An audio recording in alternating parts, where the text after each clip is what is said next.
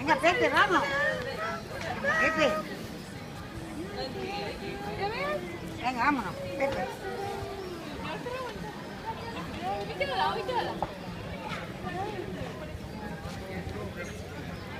¿Ya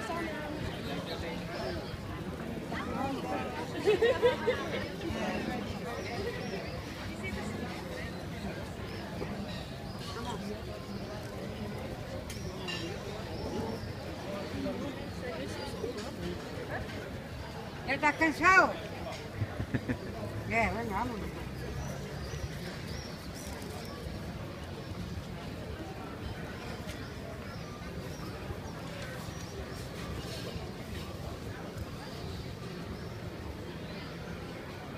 Y no he echado nada.